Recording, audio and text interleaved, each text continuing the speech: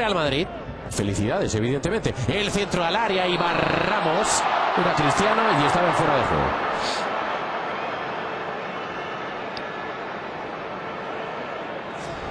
Así por lo menos lo vio el asistente y el fuera de juego parece que existe. Bastante claro de Cristiano Ronaldo. Ahí va Gareth Bale. Llegando a línea de fondo, Cristiano.